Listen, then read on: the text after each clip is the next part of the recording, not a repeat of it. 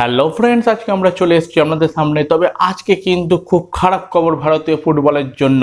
হ্যাঁ সত্যি আপনারা ঠিকই শুনছেন, আজকে খুবই খারাপ খবর। তার কারণ কালকে গিয়েছিল ভারতের পঁচাত্তরতম স্বাধীনতা দিবস। আর আজকেই কিন্তু সকালবেলা বলা ভালো, ভোরবেলা ভোর তিনটে ভারতীয় সময়ে, সেই সময় কিন্তু ফিফা ব্যান করল এআইএফএফকে অর্থাৎ ভারতীয় ফুটবল থেকে কিন্তু সমস্ত ফুটবল টুর্নামেন্ট এবং সব কিছু কিন্তু ব্যান হয়ে গেল। যে ব্যানটা কিন্তু ফিফা এবং এএফসি দ্বারা স্বীকৃত হয়েছে। সেই জায়গায় দাঁড়িয়ে এই মুহূর্তে কিন্তু ভারত কোনো রকম ইন্টারন্যাশনাল কোনো কম্পিটিশনে কিন্তু অংশগ্রহণ করতে পারবে না। আর আজ থেকে কিন্তু শুরু হচ্ছে এ বছরের মরশুম অর্থাৎ দু হাজার বাইশ তেইশের মরশুম ডুরান্ড কাপ দিয়ে। তাহলে এই সমস্ত টুর্নামেন্ট কি হবে? ভারতের ওপর কেমন চাপ পড়তে পারে বা ভারত কোন কোন দিক থেকে এই ফুটবলের দিক থেকে পেছিয়ে পড়তে পারে? এই সমস্ত কিছু নিয়ে আজকে আমরা আলোচনা করব বন্ধুরা। তাহলে চলুন বন্ধুরা, একের পর এক যেসব প্রশ্নগুলো আমাদের মনে বলা ভালো আপামর ভারতবাসী ও ফুটবল প্রেমীদের মনে আসছে সেই প্রশ্নগুলো একটু আমরা উদ্বোধন করে দেখি। তো প্রথমেই যে কথাটা, সেটা হচ্ছে under seventeen world cup women's world cup under seventeen যেটা সেপ্টেম্বর থেকে কিন্তু শুরু হওয়ার কথা ছিল ভারতবর্ষে তার ভবিষ্যৎ কি?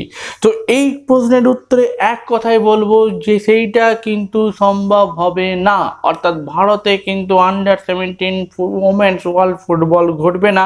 ফিফা যে মুচ লেখা দিয়েছে সেটা এখন আপনারা আমাদের টিভি স্ক্রিনের মধ্যে দেখতে পাচ্ছেন। সেই অনুযায়ী কিন্তু under seventeen women's world cup ভারতে হচ্ছে না এবং সেই জন্য ভারতীয় দলও কিন্তু এই টুর্নামেন্টে অংশগ্রহণ করতে পারছে না। শুধু ভারতের দিক থেকে কিন্তু এটা একটা খুব সেটব্যাক এইটুকু বলতেই পারি।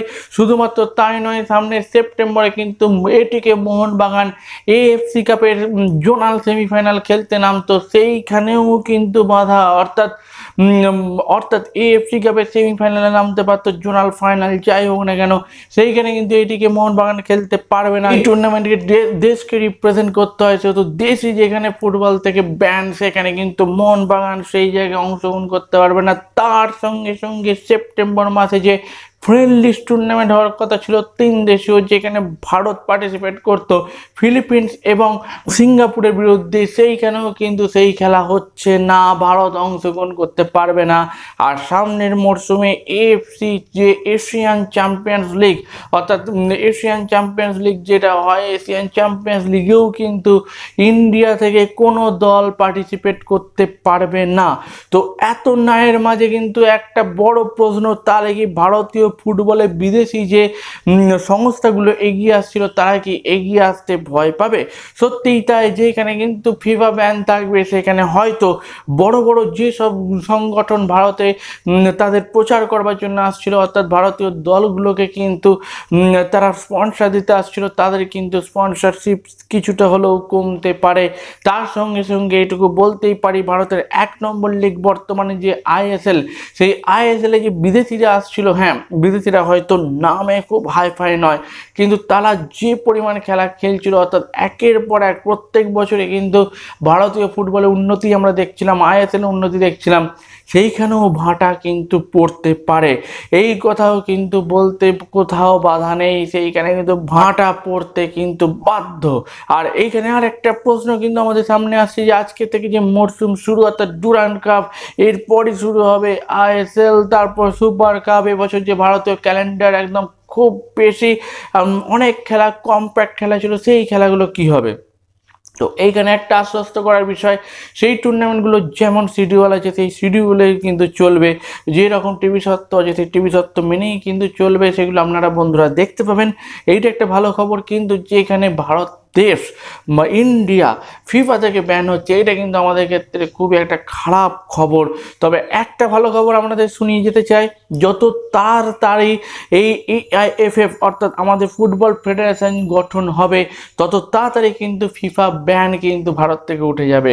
সেহেতু এইটা কিন্তু একটা ভালো খবর বলতেই পারি, এবং আমরা আশা রাখছি এই ফিফার ব্যানের পিরিয়ডটা কিন্তু খুব শর্ট পিরিয়ড হবে।